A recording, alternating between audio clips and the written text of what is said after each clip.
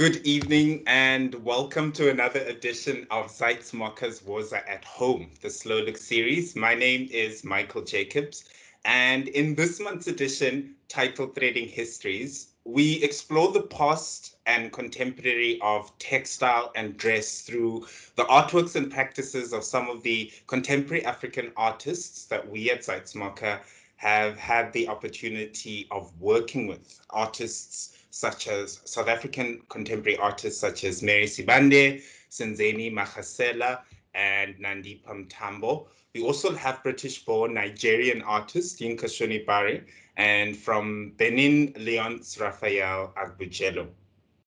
Before we continue, um, just to let you know, please, please, please, it is a conversation, so we would love to hear from you. Please feel free to make use of the chat function um, in the group, it should be below. And we just ask that we all remain um, open-minded and respectful uh, during our conversation. I'm not going to be doing this alone, though. I'm joined by amazing colleagues of mine, uh, Sakhi and Siseko Maweyi. Good evening, guys. How are you? Hi, Michael. Uh, my name is Sakhi Gcina. I'm part of the curatorial team at the museum. I'm happy to be part of this conversation. I want to make a disclaimer that the coat I'm wearing is fake fur. So there wasn't an animal killed in the making for this coat. And I wore it because one of the artists will speak about um, uses animal skin as material in their practice. Looking what kind forward. of fur is it? Or what kind of fake fur is it? It represents a snow leopard, which we don't have in South Africa. Uh, cool. Hi, everyone. My name is Siseko Maweyi. I am one of your friendly gallery guides at Zeitz MOCAA. And let's have fun. Let's have a conversation. Let's kiki. Let's do all the good things.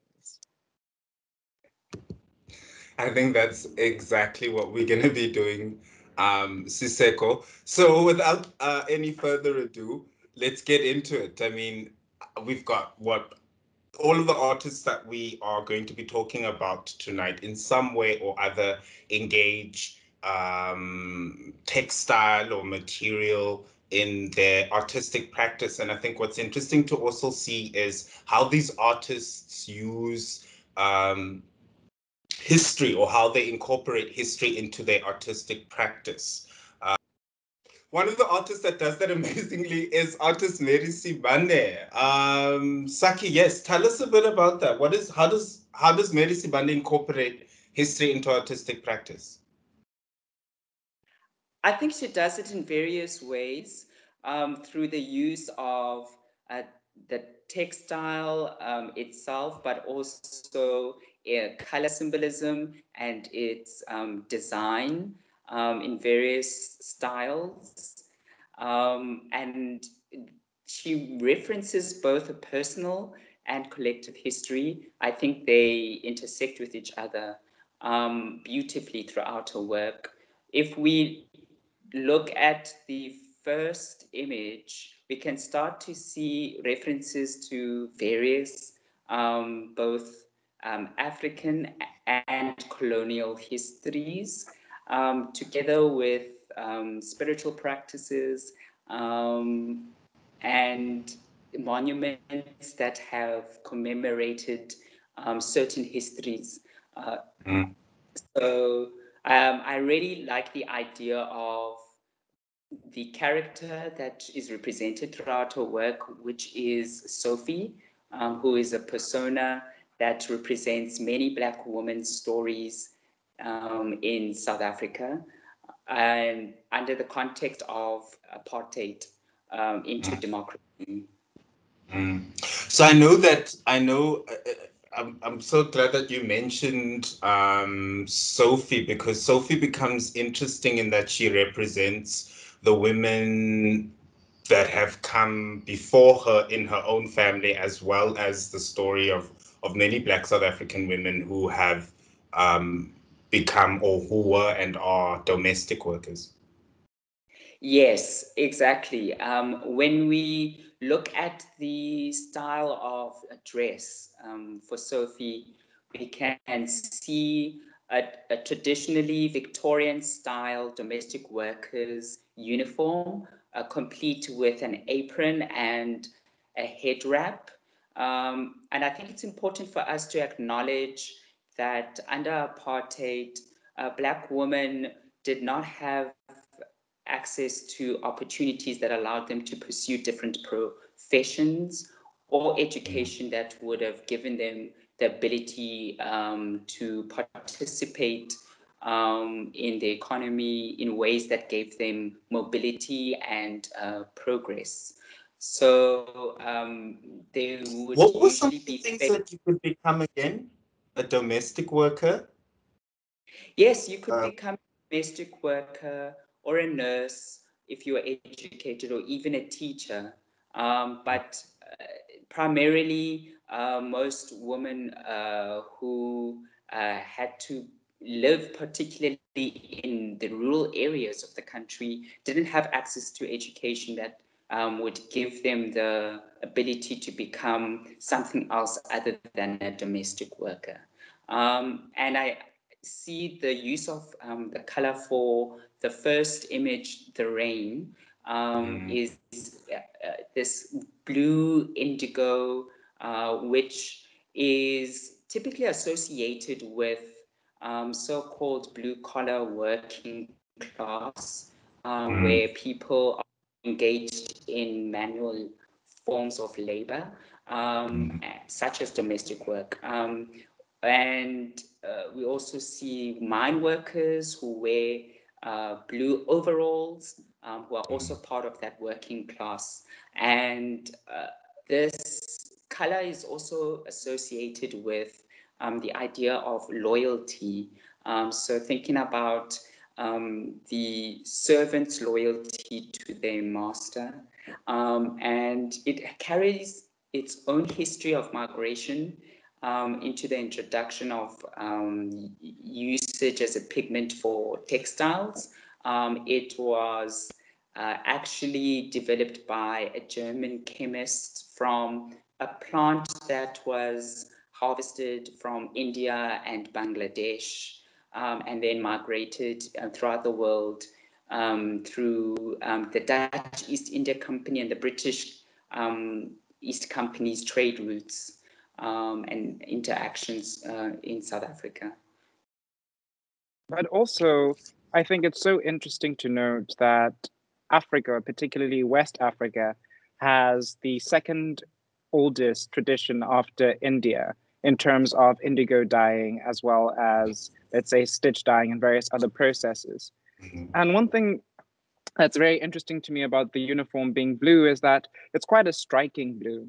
And yet, mm. oftentimes, we are so able to move past people wearing these overalls because, in a way, subconsciously, we've absorbed information from our world that these bodies become insignificant. Whereas, as seen in the almost triumphant and surreal ways uh, what's now Sophie's depicted, these individuals, particularly Black women, were matriarchs. You know, they were leaders in their own households, leaders in their communities, and often a pillar of strength and wisdom. Yes, and I I think in speaking about um, the representation of triumph, um, it's depicted through Sophie riding this giant uh, horse on its hind legs, uh, which is a form um, that is used for um, memorials that are dedicated to army generals, uh, particularly of um, the colonial era.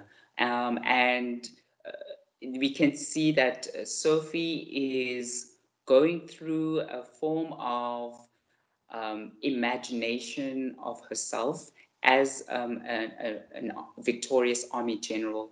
Um, and I, I think she uh, begins a, a transition um, into a sense of political will um, and self-determination um, desires that she has. So this is a representation of a, psychological journey into a, a person's um, consciousness to try and, and find their own liberation. Um, and we see this dress also transition from the blue into purple, uh, which is accentuated in later images we'll see.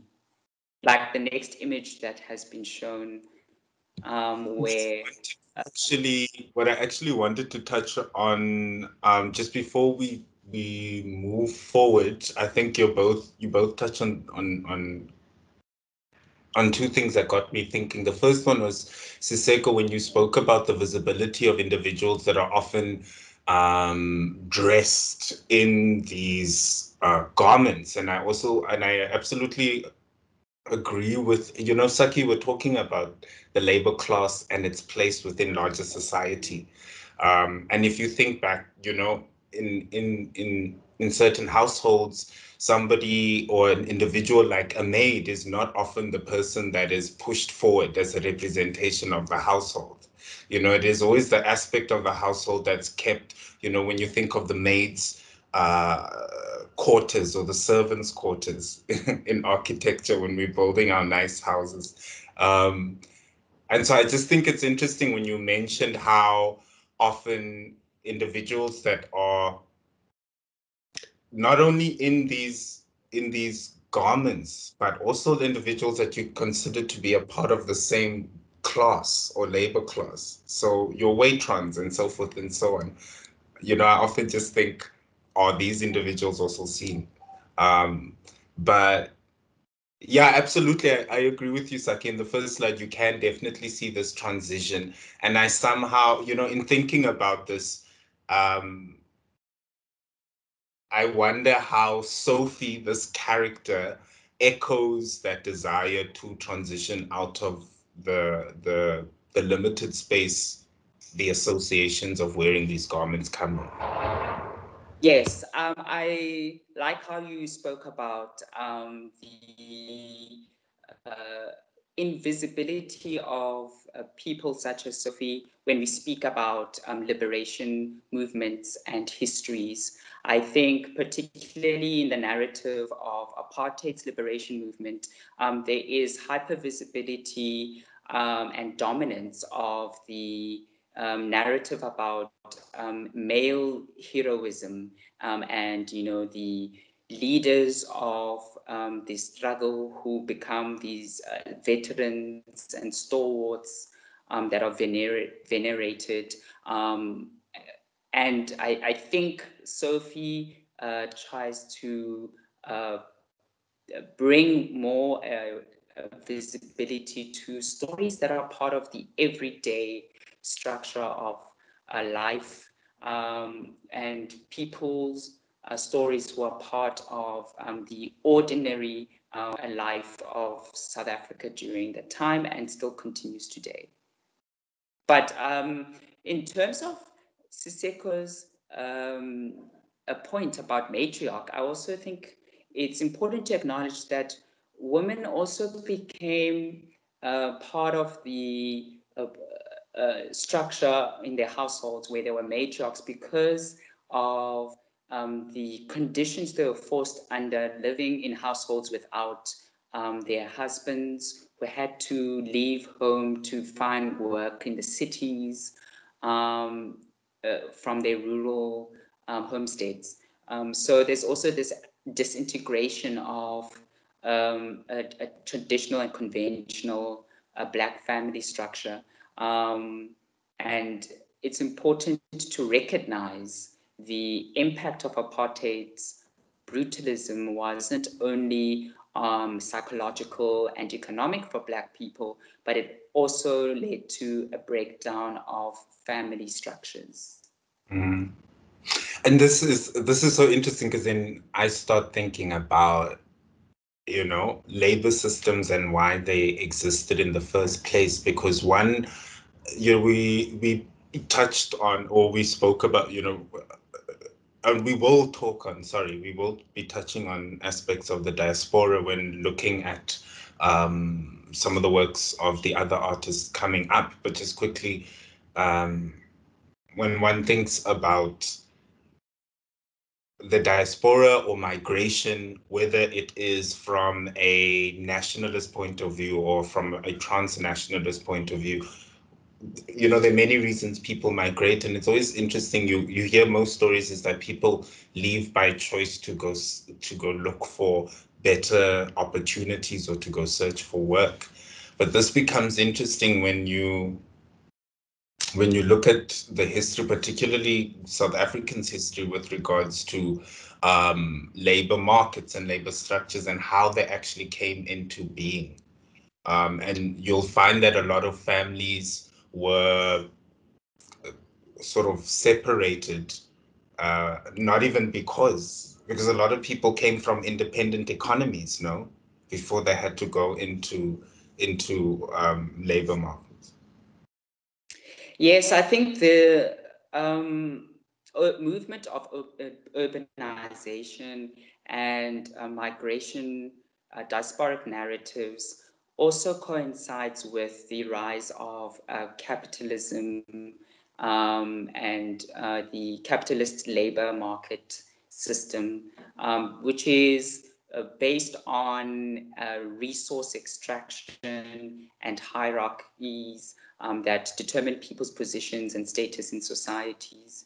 So, um, in the uh, midst of uh, South Africa's industrial um, uh, development, um, there was also a need to supply that um, industrialization with uh, people that would uh, contribute to its productivity. Um, and uh, I think that's when, um, under apartheid regime, um, and even in contemporary global capitalism, um, Black people were used as a form of cheap labor that mm. could feed to that capitalist labor system in different ways. But that's why, just like coming back to Siseko, but that's why Siseko, like what you said about being seen and not seen, really, uh, it's kind of sticking with me because it's almost as if there was a des, you know, this desire to be seen, but not to be seen in the way that um, the country at that point in time was seeing black people. I mean, I I, I think about um, what is this piece? The if we could just have the the previous slide, um, the artwork you put a spell on me that is also we still see the same we still see the same persona um, Sophie, but this time Sophie is wearing a color that one might what might remind one of um, Zionist Baptist churches. And if we think about the history of that and the segue from um, how these spaces were actually started as, I like to think, as a means of resistance. Uh, but I don't know. Uh, what do you think? Honestly, I think in the same way that Sophie is sort of dreaming or imagining these new spaces is the same thing that in a way lots of people would consider in any particular market specifically of labor. Um, if i might simplify my thoughts around it i just think that we all want to be seen in a way that respects our dignity respects our abilities and also to unto that gives allows us then the freedom in which to move a bit more flexibly in our worlds. And i think and i think that's also what in a way we all yearn for. And i think it's a universal message that we can't really ignore. But particularly in the context of black people in apartheid i mm. mean i wasn't alive then. But the resistance of building spaces such as churches, the resistance of building spaces of community was because in those spaces you could be seen in your full humanity. Mm. Mm. Yes, um, and I think it's also about creating a sense of belonging and rootedness in times when there is precarious um, forms of and violent forms of displacement and dislocation through, for example, apartheid segregation policies and forced removals. Um, and uh, the era of um, of the Victorian era, which was roughly between 1835 or till 1901, was a period that was marked by a lot of anti-colonial resistance movements from the British Commonwealth, and um, they were often led by spiritual leaders, um, such as um, Engenas Lekganyane, who founded the Zionist Christian Church of South Africa. Um, and so when Sophie is represented in the position of a, a, a church leader of um, the ZCC, um, she also tries to inhabit a space of a spiritual uh, resistance, um, mm. which I think is where you could inhabit the space of um, dignity that uh, Siseko is speaking about. Um, mm. I also think, lastly, in uh, the ways that the Purple um, Shall Govern series, um, where we saw Sophie dressed in um, this alien like uh, design. See that? Can we bring that up while you talk through it? Sorry to interrupt you. Yes, I just wanted to state that it's also marked by another form of resistance that occurred um, during apartheid when um, there would be protesters on the street who were uh, confronted by the police um, and they would be sprayed by uh, water cannons that contained purple dye. So when they uh, left um, the scene um, to escape arrest, um, they would still be able to be identified um, by the police. Um, uh, and, I, we see here that um, Sophie is like a queen of a kingdom, and the uh, alien followers uh, strip away these markers of her servitude, um, such as the apron and the mm. head wrap. Um, and uh, instead, we see this color traditionally symbolize um, nobility, royalty, and power that I think mm. Sophie's trying to inhabit yeah, I really like how it is these tentacles that appear, uh, also just quickly, these tentacles that appear to be coming from her or from her garment, uh, you know, are they of her? And if you look quite closely, you'll see that they appear to almost what appears to be an, uh, an umbilical cord that's that's actually, as you're saying, disrobing these markers and these signifiers. Um, another artist that I know that we we you know, just in, I know we we spoke about the diaspora earlier. Another artist that whose practice or whose work in some way or another touches on it is uh, Yinka Shonibare. Um, Siseko, do you want to? Oh, Sakhi, sorry. Do you want to? Do you want to? Just yes, I, I want to respond on the notion of um, diaspora because I think it is found in um, Mary Sibande and Yinka Shonibare, and it continues um, throughout the other artists in, in various ways. Um, for example, with Mary Sibande in that um, last installation, uh, in the midst of chaos, there's opportunity. Um, we see uh, these army soldier figures um, that are also um, feminized through the uh, design of their uniform with puffy shoulders, um, like the ZCC church uniform. But uh, we know that certain uh, people, particularly black men, were not only removed from their homes for um, economic reasons to work in the cities, but they will, would also join the liberation struggle um, and have to go underground um, to uh, train as part of the armed uh, unit of the struggle, such as mm. Israel. Mm. And that's mm-hmm. when they would uh, end up in neighboring countries such as Zimbabwe, for, for example, or Botswana, um, uh, Zambia, Tanzania, and Kenya, where they would uh, find this um, community of uh, uh, soldiers who were ready to fight for uh, liberation. Mm. Um, and with Yinka's case, uh, I think it uh, expands that uh, form of um, displacement and migration narratives into um, the transnational idea of diaspora. And I think it's important for us to uh, define the notion of diaspora and its origin. Um, it was originally related to the Jewish community um, since the third century BC.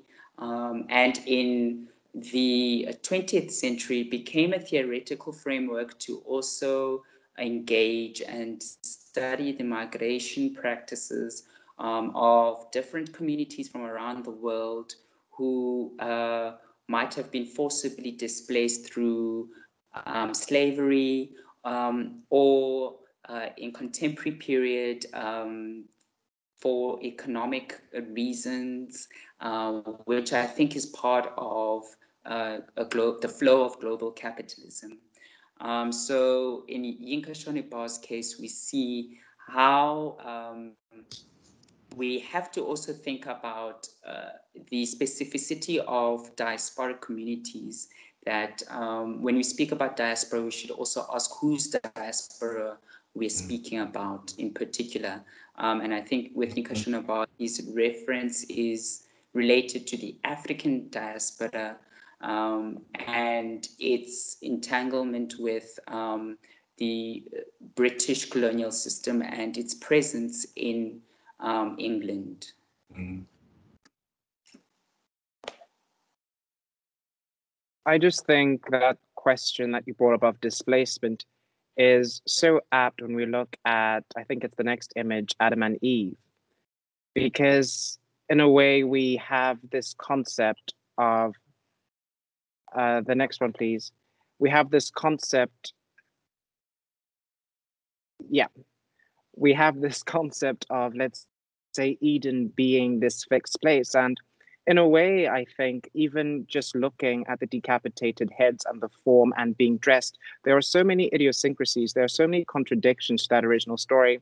And it leads me to a point where I remember this one time, Michael, you said something really profound about questioning how many stories on the continent had to be eliminated in order for this one to find root and proliferate all over. And I think that's also a, sig- a significant point of departure for many people, especially from a spiritualistic point of view. But just looking at the Garden of Eden, it's in no fixed place. It exists with um, Adam and Eve dressed in this very Renaissance sort of way, Victorian sort of way. And it's related to, um, I think, the French Revolution, wherein uh, Marie Antoine- Antoinette was beheaded.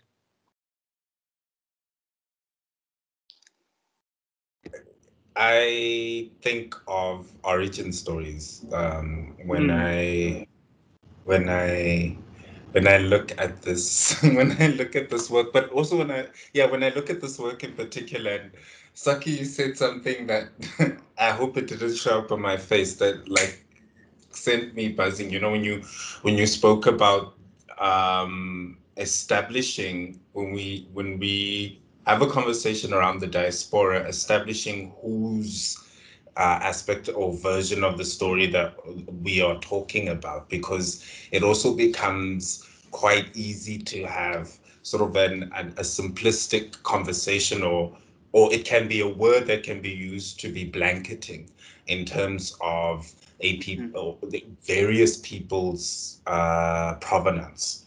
Um, but also, what I think is interesting with this is the relationship between the provenance of the batik material that is featured in this work and what most people or what society associates it with.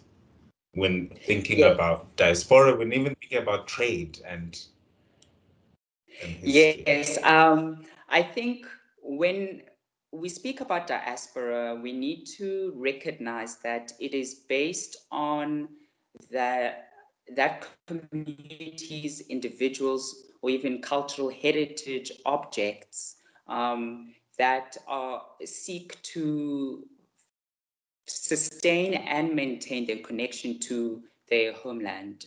Um, and also become spaces that are based on um, categories of difference um, to the host uh, country um, or the settler country.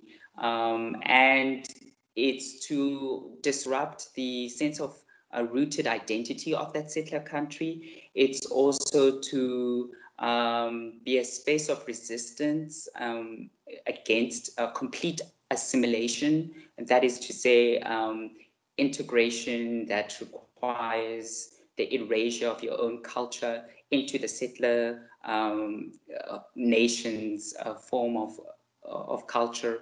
Um, so there's uh, a lot to be said in relation to contemporary African artists' own personal uh, migrations um, in a globalized world where um, quite often they might study in an art school that is um, outside of the continent or uh, establish their studio practice in a foreign country. And um, they, whenever they exhibited um, outside of their context um, of their so-called origins, um, there's the burden of representation they carry that they should represent the totality of their homeland's culture, which I think the artists like Nkosi try to constantly disrupt because they reveal the hybrid nature of um, histories that are um, represented by materials such as batik that you mentioned. Um, and the batik of fabric's history uh, is uh, actually uh, related to the uh, colonial trade routes um, that uh, took this technique of making um, this textile prints um, from Indonesia um, by the Dutch East India Company, where in the Netherlands it was um, mass produced um, and then uh, introduced into African cultures. Mm. So also a question about appropriation and reappropriation. yeah, I, I was just thinking now if if you you know what takes what what takes precedent? Is it the people that took the practice the process or the technique and and commodified it and sold it to other people? Uh, because as much as we can you know we can name all the players involved in that whole production process at the end it's still of indonesian descent right? Um, and i'm just I'm, I'm mentioning this because you spoke about you know the difficult well not but the challenging role of representations particularly when it comes to um, contemporary african artists uh, who are of the diaspora. Yes um, it's important to also note that um, africa had its own forms of um, uh, wax dye techniques that um, are used um, for the batik fabric um, in its own way. And I know Siseko could speak to how, for example, um, the communities in Indonesia actually rejected the um, uh, Dutch uh, form of um, uh, manufacturing this fabric because it did not um, adhere to their standards. Um, and uh, when it comes to this fabric's representation of uh, um, African cultures, um, it's part of an, uh, an a journey to um, reclaim a lost heritage for um, generations that have been born and live in um, the diasporic communities and don't have a sense of um, access to knowledge about indigenous um, cultures to Africa. Um, and so there's a, a universalizing um, mechanism to this um, fabrics appropriation. And I think we should also acknowledge that appropriation is also defined uh, by ownership um, mm. and uh, economic power. Um, mm. I think uh, appropriation occurs unfairly when um, the uh, means of production and ownership um, of that specific cultural object um, is uh, not accessible to the people mm. of its um, origin. Mm. I think that by virtue of it existing within a capitalistic system, it you know it it cuts off access to the people of its origin. Yeah, and also where it's produced. I mean, wax print is not produced on the continent. Mm. But I think there was something really interesting around the conversation of universality, let's say, for this. And it's, it's I think it's quite poignant to mention that, particularly from an African perspective, sometimes this fabric doesn't have much cultural significance. I mean, I grew up as a as a individual, and I always used to see them, but I just thought they were pretty fabrics. And in a way, what has happened, and if I might place it in the the conversation of appropriation, I think there's something different when an object, let's say, is taken or practice is taken and introduced into a space that then takes it and shifts it and amalgamates it with a whole host of different meanings attached. So I think there's so much transformation that has happened to this particular textile that, in a way, there is that sense of mm-hmm. a, a claiming from the African perspective, but more, I argue, from the diasporic context as you know you see in all these films mm-hmm. you see in these series mm-hmm. african people yeah. wearing dashikis they're wearing yeah. wax print and that yeah. is the identity I that went, is fed out to the world I, I i just thinking about what you're saying makes me wonder um you know when individuals from the the continent where that cultural production is taken from yell appropriation to whoever is appropriating, you know, particularly from a, when we look at it from an African perspective, you know, when when we here on the continent are shouting, um, I see that. I, I, saw that, Sakhi. I want to unpack that reaction.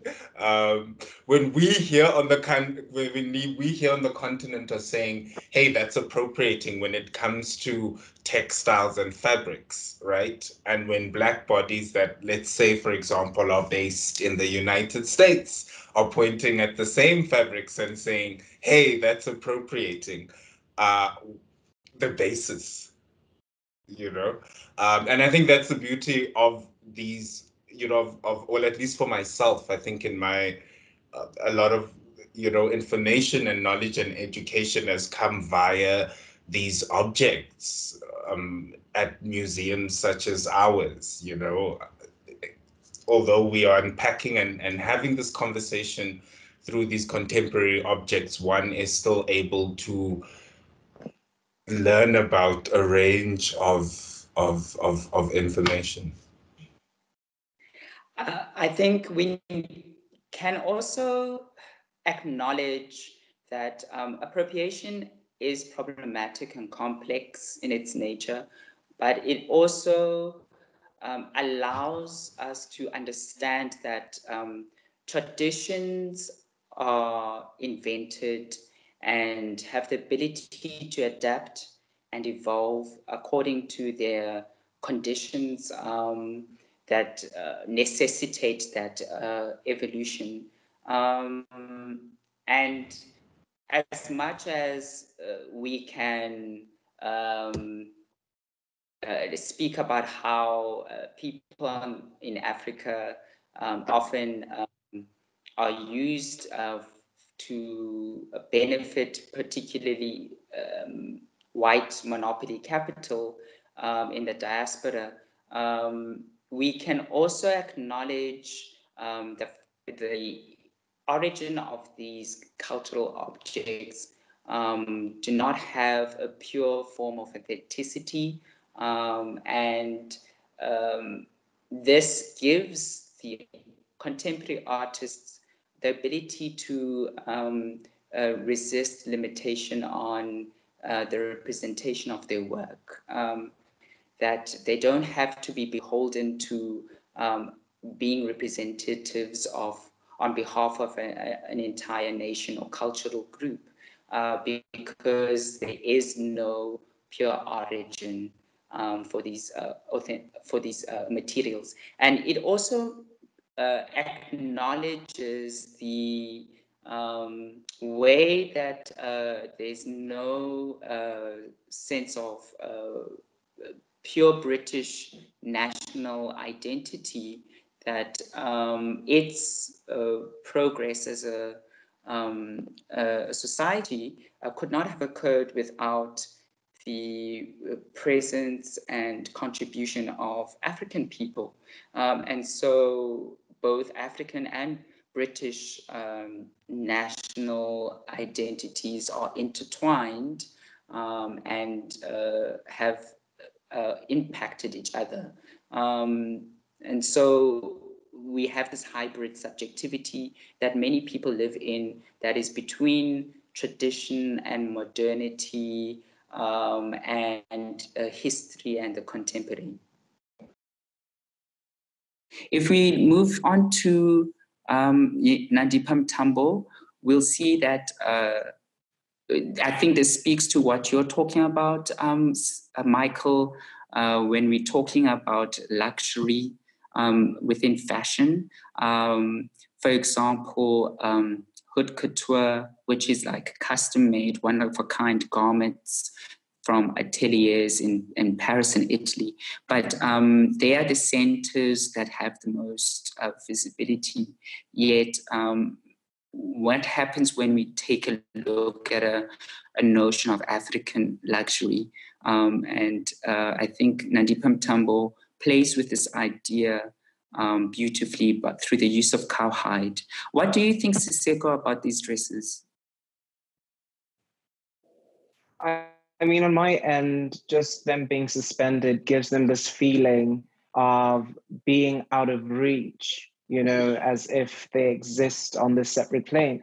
But also, onto that, just the idea that you could mold your body to it or have it mold onto your body and cowhide being particularly difficult and tough to work with, I think just how she's manipulated and transformed them, giving us these spectral visages, is just, I think, simply put, it tells story beyond the traditionally defined way in which we ought to view cowhide. Even when we look at the next image, it's um, Emabutfo, which is a reference to an army. Um, we also see how cowhide can uh, also be an, a material like armor.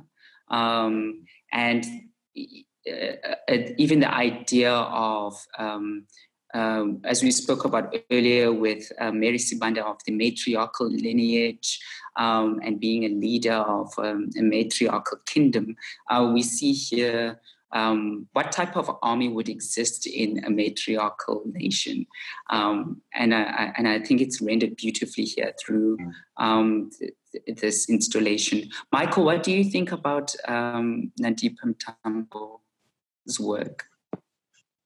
A lot, a lot. But I think the one thing that I that, that I constantly come back to whenever I'm um, the you know listening about a practice or uh, looking at a work is memory. I, I I'm quite interested in exploring how. I mean, you look at these these molds of these bodies, and I there's always this um, question I have: Are these molds empty or are they full? You know, and then it, it also makes me think of memory, and I think that our bodies have such an interesting way of um, retaining memory or holding or creating or creating memory. And when you think of some of the abstract themes that she thinks about, you know, like these binaries of sort of uh, desire and uh, what is the other one? Sort of, know, sort of like desire and repulsion. Think of, um, you know, man, man as animal and man as human. It's interesting to see how that plays out. I think we go through somewhere or other, and we all express it through text um, some way or other. So I, yeah, her work is amazing, and I mean, I'd, there's a larger conversation I think to be had around around um, that I'm curious to have around African leisure and, and you know goods and or production and what that looks like because often it is so culture um, if you major brands and I'm I'm speaking about this here because also we're starting to see like this fine line or this sort of blurred line between contemporary art or art and, and fashion. There are some that even might say that fashion is a form of art. So, yeah. Yes, and I would completely agree. I think um, that's what Nandipha Mntambo does, particularly with the first images we saw, um, where um, she's uh, trying to um, disrupt, like I said earlier, the, dominant visual language that is uh, part of institutions um, such as uh, museums, galleries, and um, art schools. And to say that fashion uh, design is an art form, um, and uh, even further than that, that should it be an art form, um, a cowhide material is a material that has value um, um, in, in order to be part of um, that um, discourse. And I, I, I, think when you also consider sorry to interrupt you, Sakhi. Sorry, cow- sorry to interrupt yeah. you. Sorry to interrupt you. You spoke about how cowhide can be introduced, uh, you know, as a part of the conversation when we think about luxury or African luxury. It's weird because for me, I always feel that it has been. You know, if you look at look at designer leather bags without name drop dropping um, certain European brands that have been in existence. What mm. I hmm. find interesting is that when we speak about this particular material from an Amer- Euro American perspective in terms of luxury, and when we speak about this material or cowhide from a continent, uh, continental um, perspective, is it the same conversation? Are we describing the same? I don't think it's the same conversation because, as much as cowhide has been, like you said, through leather goods, um, it's always been de aestheticized. Um, it hasn't carried. What does that mean? Sorry, what does that mean? It's always been part of um, this um, a neutralized a form of presentation that is removed from the animal that it's taken from. It's highly processed into um, uh, uh, marketable um, and um, uh, packaged in a way that can be used um, for advertising without um, a, a sense of where it comes from. And I think Nandipha takes it a step further by eh, making a presentation with the fur, um, with the markers that um, uh, give an indication of its source. Um, and um, I mean, even going back to what you're talking, you were talking about earlier on um, the, um, uh, the identifiers between human and uh, non-human. Um, I think to th- when you think about um, cowhide with its fur as skin, that also plays within the realm of um, anthropology um, and the study of race, and um, including uh, an acknowledgement that this material is difficult to work with. So when you're talking about skills of craftsmanship, um, I, I, which are often spoken about in relation to haute couture, that's why it's um, expensive because um, there is a, a, a countless hours of labor, an entire team of pattern designers and seamstresses. Um, cowhide uh, with its fur uh, evident is also um, extremely difficult to work with. And um, it does require a great amount of craftsmanship um, or, or, craft skill um, to to um, able to manipulate it and into a specific form. Um, and uh, and I think that's what Nandipha would like us to um, reveal in this conversation around luxury. What is the what are the value systems we ascribe to different types of materials and what do they look like and when we show what they look like from its source what type of uh, people do we think about um, and i think the next uh, image actually disrupts that notion that we should think about Nguni cultures in Africa because she then uses cowhide um, as a form of snakeskin um, which is related to uh, classical Greek mythology um, rather than a, a, a traditional African uh, culture. Um, this is a, a echidna, uh, which is a, a mythological creature um, known as the mother of all monsters. Um, in the pantheon of Greek uh, deities and gods, um, echidna is responsible for the Sphinx, the Hydra, there's uh, Cerberus, which is the three headed dog that guards Hades' underworld, um, the Chimera, which is half lion, half goat, half uh, part lion, part goat, part serpent, um, and the tetrahedred Hydra. So um, I'm curious, Michael, about your uh, uh response to the way that Nandipha has manipulated cowhide to look like snakeskin? Um, this uh, this exhibition for me, um, what was the exhibition called? Uh, the snake you left inside me. I was quite a huge fan of. I think there's, uh, you know, a lot of a lot that has been said and explored in terms of uh, mythology, folklore um, around serpentine, serpentine. Uh, and it's interesting because I remember having a conversation about this work with and um, Moses also made another reference. Uh, but what I what I think of about this work, you know, we we spoke about design, repulsion, and I think of every black friend, aunt, grandparent, mother, father that has sat next to me, and either a picture of a snake has come up on television or on the phone, and that response of repulsion that takes yeah. place there. Um, and it's interesting to see how you know different cultures also revere the symbolism and the meaning and the meaning meaning of a snake. But I I think that it's amazing that she was able to take um, the, skin, I mean, hide of something and sort of manipulate it and work with it to create. Yes, another. Um, I'd like to hear from Siseko before we move on to the next but artist. Also, before we do move on, I, I just want to also say, guys, please feel free to share with us your thoughts if you have any questions regarding some of the artists that we are talking on. Uh, we'd love to hear from you.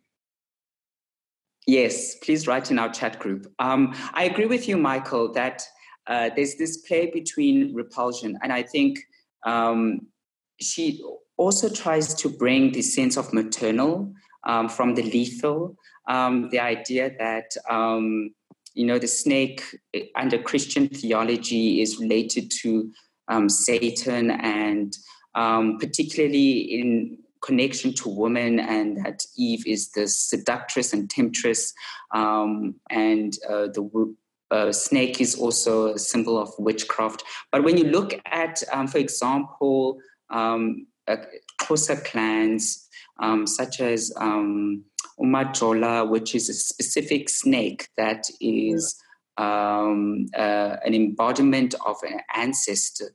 Um, that should not be killed should it visit your home, um, you do find a sense of reverence for the snake. Um, and that in other cultures, like um, in, even in ancient Egypt, um, the snake, or you know, was a sign of eternal life, um, like the Ouroboros symbol. What do you think about that, Siseko? Before we speak about um, Leonce Raphael Agbodjelou. No, I think you know material cowhide into the snake-like skin. It almost exemplifies, in a way, a breaking away of binaries, breaking of you know separations or false dichotomies. In it, Nandipha shows that this material, often associated with this very anthropologically traditional uh, referencing, becomes something or becomes able to tell story. I mean, on my end, already just thinking of a big snake, I thought of, of Inkanyamba that would arrive in thunder and storms, and already these different intersections as the personal is infused within the work. Mm. Okay, so next we have Leonce Raphael Agbodjelou from Benin. Um, these are photographs that are currently part of our Two Together exhibition um, from um, our collection. Um, and what is your initial response to this work, Michael? Um, I I was actually already thinking about it when I was looking at um, the, the previous work that we just saw now. Uh, tra- I think transformation. I think really transformation. I think that the spiritual practice of the gungun um, has been around for years, has managed to sort of survive all these major shifts, you know, continentally. Um, and I think that it's also interesting how spiritual practice can do that, can preserve, um, can preserve the histories of uh, this, because this is also a practice that's based on um, what do you call it? Uh, clan, clan names. So the gungun that the, the the individual that puts on the garment is standing in um, is interceding on behalf of the clan. And that's what's taking place. So there's a question around kinship, about the practice itself, but I also think that it's quite interesting how he's used photography to capture these figures um, outside. Yes, um, I think we need to give more context to the Egungun practice and uh, where it comes from. Um, it's actually, this type of masquerade is to um, worship and honor um, Yoruba spiritual deities, but also ancestral figures, like you man- mentioned, um, Michael, around uh, the idea of kinship. But um, it, these type of practices are also found in um, South America and the Caribbean, um, with, for example, Afro-Brazilian um, candomblé um, masquerades. Um, and what's fascinating about Benin is, um, in, in relation to religion, is how syncretic it is, meaning that uh, a person could uh, be um, uh, Muslim or Hindi or Christian, specifically Catholic, um, and um, even a voodoo priest or priestess um, practicing spiritism um, or um, animism, which is um, animal sacrifice for ancestral worship. at the same time, many people have a, a fluid a transition between these religions at any given time, and it is socially accepted in Benin. And I think we find um, evidence of this in the textile of um, these photographs. Um, for example, here we see sequins um, uh, with parts that reference the animal animals that would be used as a, a ritualistic sacrifice. Um, there's also silk, silk, fabrics, but also the um, cowrie shell, um, which was actually the, one of the only t- forms of possession that um, enslaved people from West Africa could take with them because they could hide in it in their hair. Um, uh, could you please tell us more about cowrie shell?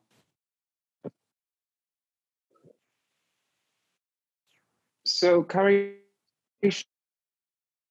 found along the shore and for some time they were actual form of currency, one of the first forms of currency, particularly during the Afro-Asian uh, trading period. I mean, due to their rarity in that they're in the sense of man, man labor or body la- bodily labor to pick them up one by one, they were essentially rare at the time, and now they are finding their way into the larger mainstream, perhaps in terms of jewelry and the like. But they've always also had this very uh, deep spiritual significance, and so too added, as you can see.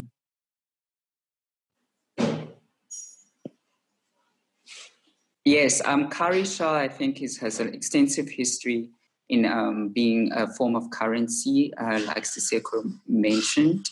Um, but I think uh, if you please go to the next image, um, we see uh, Leonce also use um, studio photography technique to capture the egungun. Um, although they are immersed in nature like they should be, they wouldn't be able to be presented within a studio because the wearers and makers of the egungun um, uh, garments would not allow that. Um, they have to exist in nature. Um, it's interesting how the, they are staged and posed together. Um, there's clearly a use of artificial lighting um, because of the you know even degradation of the lighting, um, and uh, there's um, also, this reference to exotic backdrops, uh, these artificial backdrops that are also used in studio photography. And actually, Leonce has a school of photography that um, teaches the practice of um, outdoor photography, which uses um, studio photography technique. Um, even the first one, it was the it was the it's the first one that you opened there. Yes, that's correct. Yeah. Uh, and uh, once again, uh, could have chosen to show us the masquerade ritual in its performance, but he chooses to show it in this highly staged and constructed um, form um, through studio photography type uh, pra- technique. And I think he does that because, um, like uh, Nandipha does with the cowhide uh, in relation to Nguni culture, um, with Beninese culture, um, he's trying to um, take it away from um, an anthropological lens and for us to really look at um, the skill um, that is part of these garments, which are uh, newly created each year and have become a historical record um, from uh, about the Beninese history um, and its uh, interactions with other cultures. We see here, for example, um, the design like a pope's robes, including the papal hat. Um, and then we see the iconography on the sequence of uh, Chinese mythology, uh, looking like a, a dragon, um, and then the cowrie shells. And even that text um, uh, is Yoruba, um, meaning wealth and prosperity, because that is um, the symbolism of the cowrie. Uh, Michael, I think is also. Before Sorry. we move on to our last artist. No, I just wanted to find out what would you like to say before we move on to our last artist about Leonce's work? Oh no, just uh, you were describing some of the things I thought it was these call them what appear to be garden gloves. You know, these everyday contemporary objects and items that are also utilized to make ultimately make up the um, not costume outfit. Mm. And you know, the cowrie shawl had another name in um, Italian that was related to porcelain, basically. Um, even though the cowrie shawl is found predominantly in the Indian Ocean and parts of the Pacific Ocean from a sea snail, um, whenever it washes ashore, it is uh, seen as a gift from the Orisha of the sea. And um, uh, yet under a European context, you know, we find its connection to um, uh, a porcelain. Um, so, so our last, We have a question before you move on. Um, there's a question from uh, Kylie. What is the significance of mosques in Leonce's work? Um, I think Leonce, well, it's not necessarily related to Leonce's work because he also uh, does other types of photography of, for example, um, boxes. Um, but in relation to the Egungun masquerade ritual itself, it's basically a, a reference to the Yoruba cosmo- cosmology that we were speaking about earlier. Um, and uh, the wearers of the uh, costumes and masks are anonymous to the villagers. Um, and there's a, an apprenticeship um, uh, practice where um, a, a, person would be identified, typically male. And I think that's interesting when we think about um, embroidery, sewing, threading, um, and, and it's actually typically males. And they also don't only perform um, gendered deities. Um, these de- uh, deities could be male or female or neither. Um, and, and, so it's not like they inhabit um, a specific gender. Um, and um, they created in advance over a year. Um, that's interesting because you also they, can't tell just looking at the the garment, not the garments, but the, the costumes that they are masculine or feminine in nature. Yes, um, but uh, to answer Carl's question specifically, you would have right. to uh, uh, engage in Yoruba cosmology and see all the orishas and deities. Um, there's a multitude, there's a, a, larger spectrum than we have depicted um, in our presentation. Um, and as you mentioned, Michael, it's also related to ancestral worship and um, the lineage of one's clan. And I think this is where we should mention that the costumes became a historical record because of these uh, punitive uh, expeditions led by British invasion uh, and pillage of Benin. Benin was a large kingdom and civilization that was highly sophisticated and um, up to even past the 1500s during the medieval times in Europe known as the Dark Angel, ages, um, Benin was still a thriving kingdom and it was engaged in trade of palm oil with um, uh, foreign nations um, and other uh, kingdoms. And I think we have to acknowledge um, the loss of the Benin bronzes, which are currently um, housed in the British Museum and other museums in Europe, but predominantly the British Museum the most, um, uh, where they arrived there actually as a, uh, a way to uh, pay for the colonial invasion of Benin, where they even assassinated the king known as an Oba. Um, so when you have uh, these Benin bronzes were in gold, um, cast in gold, and they were more definitive uh, sculptural busts um, of their ancestral lineage. So when you you, you, you, see this ability of adaptation and evolution that uh, African cultures have uh, despite this um, attempt at historical erasure of their identity. Um, so our last artist is Senzeni Marasela. Uh, Michael, would you like to, or Siseko, please, would you speak more about uh, Senzeni? Um, if you could please have the next image so people can see an example of her work. These are blankets known as Itali in Xhosa, um, where she's uh, sewn, sewn um, red threads um, in the style of um, the topography or landscape you'd find in Johannesburg, um, in reference to the slag heaps or those mountains of industrial waste material from decommissioned mines um, that we find surrounding townships. Um, and she actually wore these blankets as part of um, an outfit. Um, if you could please see the next uh, image. Yes, it would be. It would have been presumably worn as part of this outfit, but due to the the heaviness of the blanket, she decided to repurpose them. Um, Siseko, just please speak more about um, this image. Yeah, so Senzeni crafts this uh, persona Theodora, and she's married to a man by the name of Gebane. And here in Theodora comes to Johannesburg. She arrives looking for Ukeban. And so I think in large part she speaks of this notion of waiting, of this sense of waiting becoming a practice or a presence, uh, waiting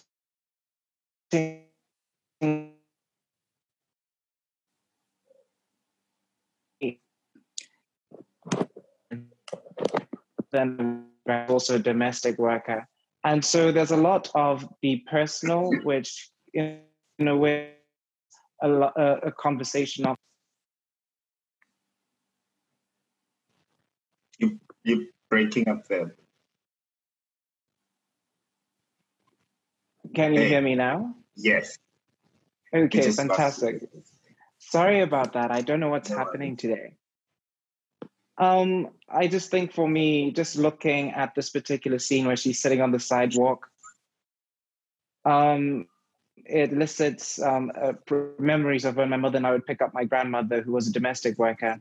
And so it brings to mind the conversations of how way of life was particularly of say the men going off to the mines to work and then the women having to make a living. And so to going to Johannesburg to attempt to locate their husbands and also to make a living for them for their children at home.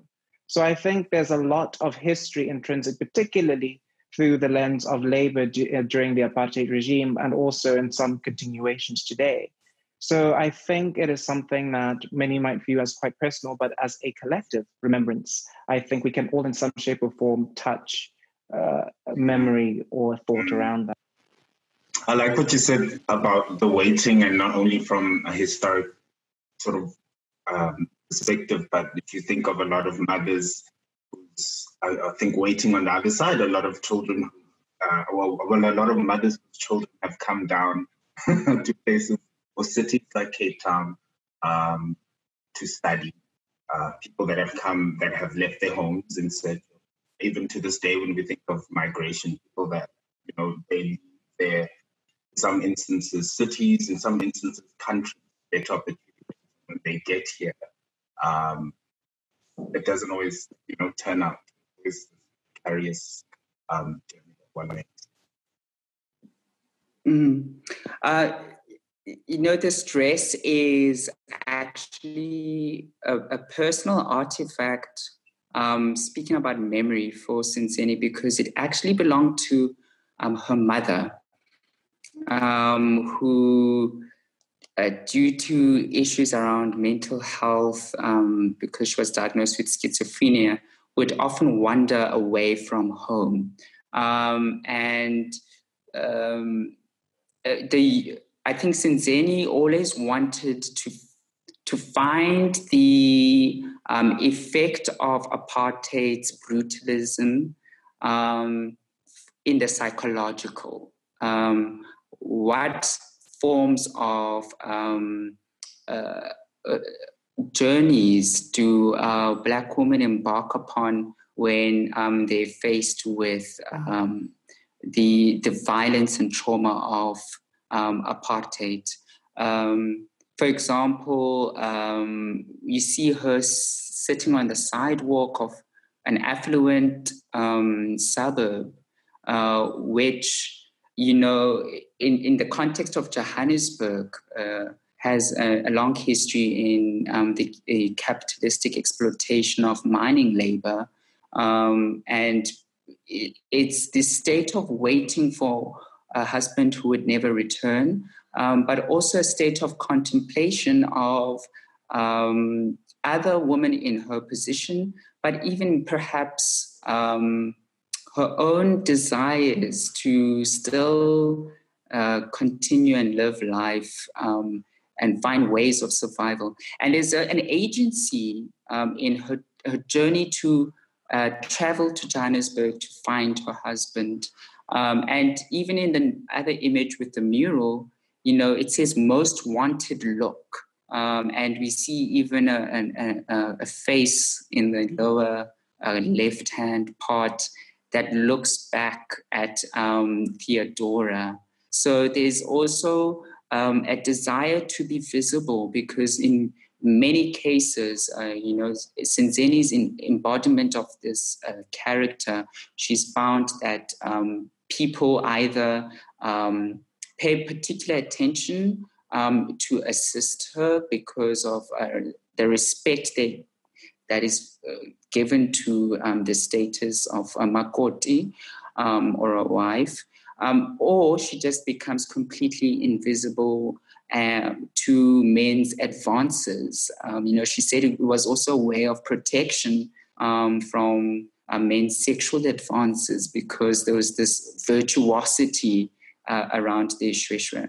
And if you look at the last image, the next image, please, you'll see, you know, the Shweshwe in the color red. Um, and uh, this references um, the red dust in um, the rural villages of the Eastern Cape. And when uh, uh, people would um, uh, be, particularly men, would be conscripted into war, like the First World War and the Second World War, um, or if they had to um, deal with um, anti colonial resistance wars, um, they would uh, leave on horseback and um, the horses would kick this red dust into the air.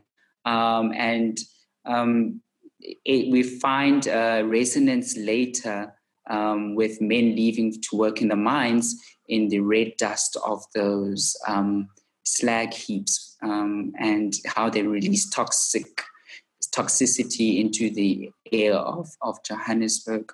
So this color red, even like an ochre, uh, is highly symbolic. Um, and uh, I know Shweshwe also has this transnational history um, where it was introduced by um, a French um, uh, missionaries to King Moshoeshoe I. Um, and uh, so it's also part of Basotho uh, culture. Um, and um, it, it, also speaks about how when color indigo was introduced into it, um, which was the most popular color for Shweshwe before modernization, um, it was like a form of allegiance um, to, to these um, missionaries. Um, so how it becomes assimilated into the Xhosa and Sotho cultural practices is another indication of um, the, the inventiveness and constructed nature of our traditions and the way that they adapt and evolve over time.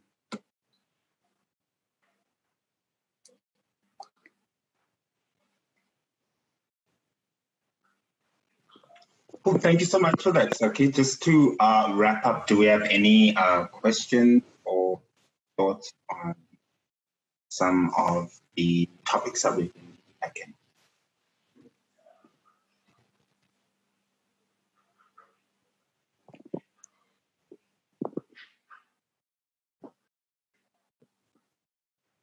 Okay.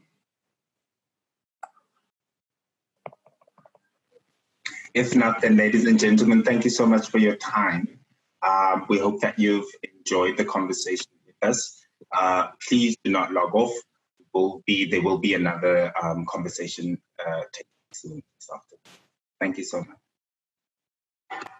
Thank you, Michael and Siseko, for the conversation. I hope our audiences uh, felt they have learned a lot today. Um, and they will explore further some of the uh, topics and themes um, we spoke about this evening. Yeah, and I mean, I'm so, so thankful that somehow the bandwidth, despite the difficulties, managed to hold through. But also on that end, just also on that end, just to sort of bring together that sort of openness to what we wear and what it says about us. I mean, the very things we wear at times have these histories that we're not even aware of and of how they move and they shake and they form and they sort of like get pulled apart and put back together again. So I just think there's so much beauty in textile and how it's manipulated, particularly by these artists.